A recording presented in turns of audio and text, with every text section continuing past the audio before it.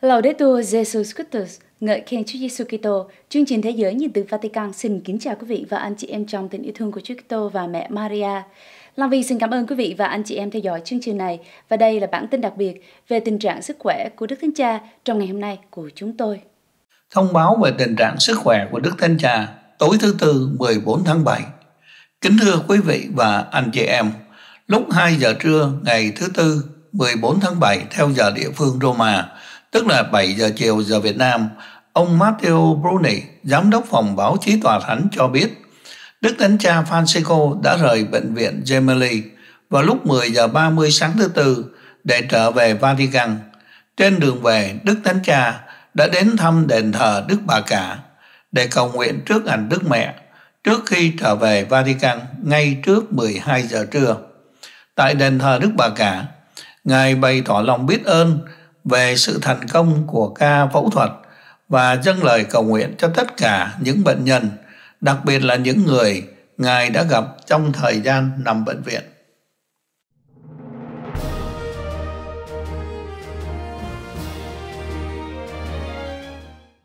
Điện văn của Đức Thánh Cha gửi cha Massimo Fusarelli, tân tổng quyền dòng anh em hèn mọn. Dòng anh em hèn mọn thường được gọi là dòng Francisco đang tổ chức tổng tu nghị từ ngày 3 đến 18 tháng 7 với sự tham dự của 116 vị lãnh đạo dòng và các đại biểu đại diện cho khoảng 13.000 anh em từ khắp nơi trên thế giới. Ngày 13 tháng 7, các tham dự viên đã bầu vị tổng quyền mới. Cha Massimo Fusarelli đã được tổng tu nghị bầu làm tân bề trên tổng quyền.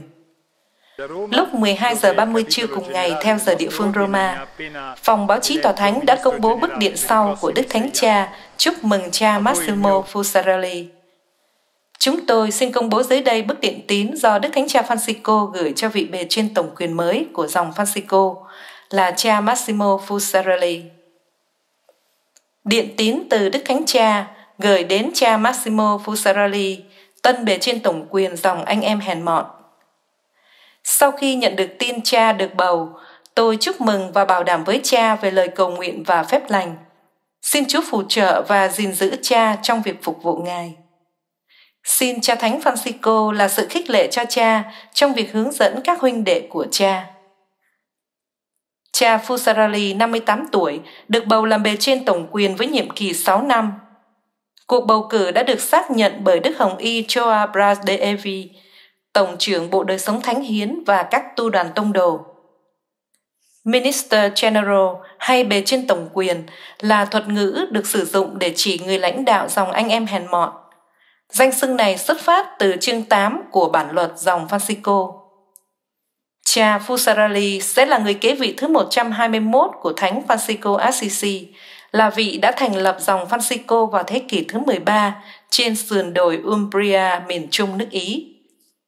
Cha Fusarali kế vị cha Michael Perry, một người gốc Indianapolis, đã là bề trên tổng quyền từ năm 2013. Cầu xin Chúa Thánh Thần bảo vệ và hướng dẫn anh Massimo trong việc phục vụ các anh em của dòng và toàn thể giáo hội. Một thông cáo báo chí trên trang web của dòng Francisco cho biết như trên.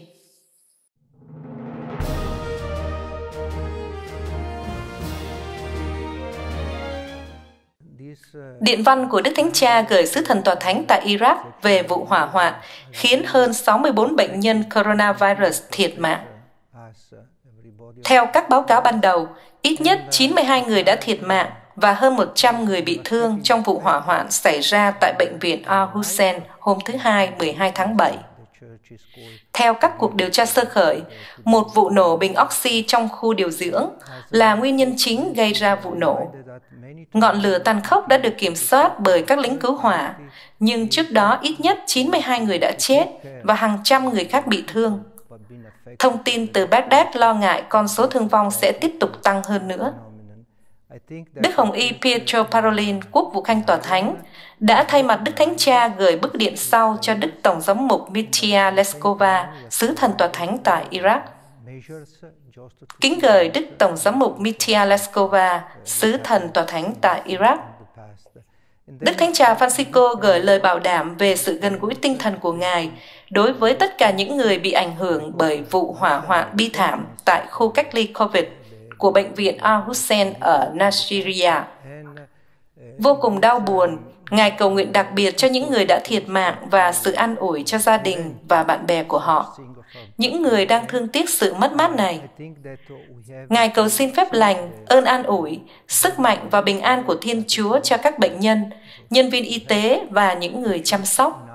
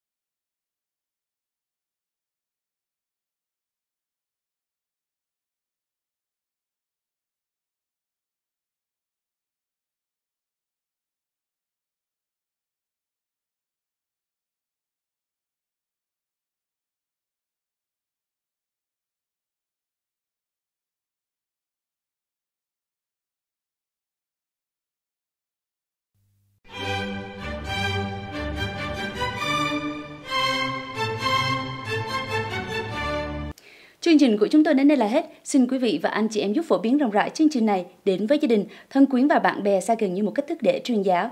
Xin cảm ơn và hẹn gặp lại quý vị và anh chị em trong lần phát hình tới. Laudetur Jesus Christus, ngợi khen Chúa Giêsu Kitô.